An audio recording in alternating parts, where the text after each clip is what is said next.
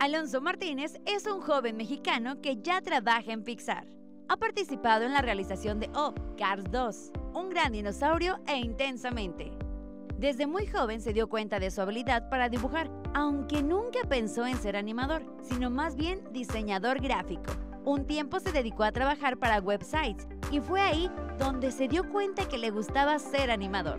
Entonces envió su trabajo a Pixar y fue seleccionado para trabajar con ellos.